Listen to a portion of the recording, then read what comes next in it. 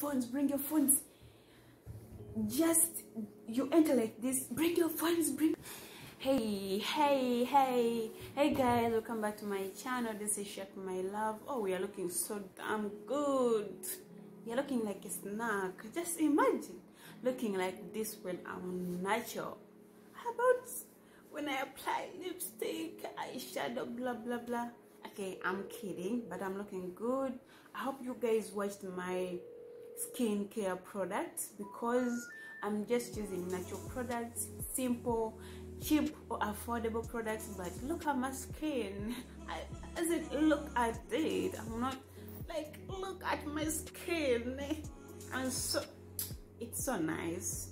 It's so nice. I'm admiring myself for for several reasons i have to be. Anyway anyway today just like i promised you in my last video that i'm going to be giving you a series of my life experience as a housemaid here since I came. And until date until I go back home I'm going to be filming many videos about them. And yeah I hope you get something out of them. I hope you get inspired. So today I'm going to talk about my my first month my first month in in, in Saudi Arabia. So uh, I came on 9th so i'm going to tell you from from from that I, traveled from two days i traveled. So I went and they called me and they told me you, you remember my things didn't take a lot of time. I only processed things for two weeks because i had passport i have and i had money so i invested in money because i never wanted anything to slow because if it had slowed i was going to of course I was going to cancel that. So it only took me around two weeks for everything to be processed and I had to travel. So this guy calls me. I was at home. He called me on 7th. No, he called me yeah on 7th in the at night, and he, then he was like, uh, "Are you ready?" And then he was like, "Ready about what? What's what's up?"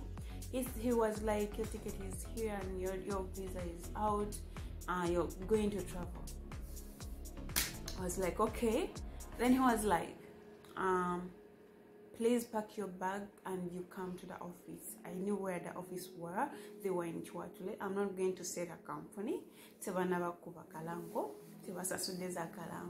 So the next day I had to take my cousins to school, back to school. It was a Saturday. It was a Saturday 8th. So I had to take them to school and then no, it was 7 so I had to take them to school and I took the last one because they were how many? I don't know. But I took the last one in the evening. So after they had to drop me to the company. So I went I found other people. I found other girls. They have hostels something like rentals. So in fact they are lodges lodges. So they rented there as a company. And then we found i found a lot of people a lot of people but there was a group of of, of 11 people that were coming. So by then they were 10 one came the uh, next day after me. So we i went there they took us we ate food. They had care really good care. So they took us we had good food. And then the next day on 8th uh, we went to the company and they had to check us again before we traveled. Pregnancy hiv they checked us thoroughly. They checked us and the one was like people were so scared. I was like they knew what they were going what why were they doing this? Like people were so worried. Others wanted to dodge but there was not way you could dodge about being tested or taken so uh, we got our results in the evening and then yeah that, that evening was it was a good evening and i found so many people that were so excited like they were really excited and others were treating like i'm i'm this quiet person if i'm with people that i don't know especially even those people that know me a real talk like i don't i'm not so wordy. So i was always quiet and maybe people were thinking i don't know how what they were thinking about me but they at first they treated me like ah i think when i entered like this because i was looking for a room to sleep in and everyone was like no we are full blah blah blah. Then i stood there and i was like i told the lady i'm going to pay for this room. It's okay. Let me because there were i think four empty rooms. Empty rooms ngazaba customer. So i told the lady it's okay let me pay for the room. Leave them. so the lady went in and spoke to other girls some girls and then they were like let her come and sleep here. So i went i took my my bags in i was in period I had terrible cramps, so I didn't want to bother myself with anyone. With anyone, literal anyone. I was so scared. I was real scared. And remember, when I was leaving, I didn't tell anyone. Like, literally, no one knew that I was leaving. No one knew what that I was doing something about apart from my dad and my brother, my friend, my two best friends. So, and when I went there, I just put my bags in. I came from home after showering, and then I put my bags in. I just slept, but I didn't have sleep. I went on my phone. By then, Cindy, Cindy had, had staged had staged a concert, so I was just watching Cindy's concert and killing the stress because I was thinking so much. I was like what am I going to do? How am I going to do this? Like I was thinking, literally thinking, overthinking about how I was, I was going to handle these people, about how I, how I'm going, I was going to manage all these years, like two years, looked to be so so so much. Like I couldn't, I couldn't even believe that I was going to leave home for two years I had just graduated. By then, I'd just gotten a job, though it wasn't that paying. So I wanted to do something for myself. I really wanted to do something for myself, and I wanted to get lost for a while and come back when I'm better. You understand? So uh, the next day we went and I had to so when they confirmed that we were leaving that very day on 9 um we went to the company because we were sleeping at the lodges and then the the, the company the offices was somewhere else but within Kiwatule and then we went there so we did what we had to do doing everything and then I had to to to open my account because it was open but it was it wasn't active so I had to activate it. So I went there I told that lady and she told me it's okay. So I went to Tinder I activated it and then I found them. I came back. It didn't take long. I came back. So I called my dad. I called my dad and I was like we are leaving and we are leaving. We are boarding at, at 5 but I think we are going to leave here at at around 2 and then yeah that was my last call to him. So i went back to the office and i found people eating. I didn't eat. Like i was so scared literally i was overthinking about where i was going but everyone was excited. So after that we went at 2 exactly 2 we went to the airport. Now coming to the airport. Hmm? coming to the airport. We were coming down in the in the taxi but people were so excited. Everyone was calling their granny, their sister, boyfriends, and I had no one to call. Like I had an airtime, I had a man on phone, but I had no one. Like I wasn't in the mood, and they were shouting. They were so excited, and I was like, I was seated somewhere in the corner at the back, and just my tears were running down I don't know why I was crying, but I was feeling like I was in my head. I was like, do they know what they are going to face? Because I think I put that so much in my head. That is what I, I talked about in my previous video that is fear and pain i was so scared i was so scared of what i was going to experience i was so scared of the pain that was i was going to go through during those two years. So to cut the story short we went we checked in we did everything. Unfortunately one of my our friends didn't make it so she had to go back. And then we came. So we reached in saudi we reached in saudi and i, I didn't communicate to anyone. We reached to in we reached at night at at four reaching at the okay we reached at the airport at around at around 2 a.m in the morning and then they picked us but they drove they drove. Like they drove. Everyone was shouting like those people who came for us they were so rude. They were shouting they are they took they took us. But the man drove for like one and a half hours and we were all scared. Wow they taking us you understand? So we were so scared and we reached immediately when we reached at the company our company we found um, a woman there. She was like bring your phones bring your phones. Just you enter like this bring your phones bring your and she was quarreling she was shouting. I was like what? Like they didn't tell us that at the company. They didn't literally they didn't tell us that shit so we gave out the phones we didn't communicate to anyone to, to, inform them that we had reached. They took our phones so we we carried our bags up.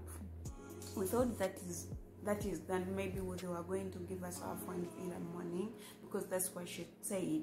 Other people had refused and then she was like you'll get them in the morning and tell your parents that you reached. Hey it was a lie. It was a lie so we went up. It was another case so we went up. We, we found this woman. She's called mar. So uh, we found a lot of a lot of domes up there.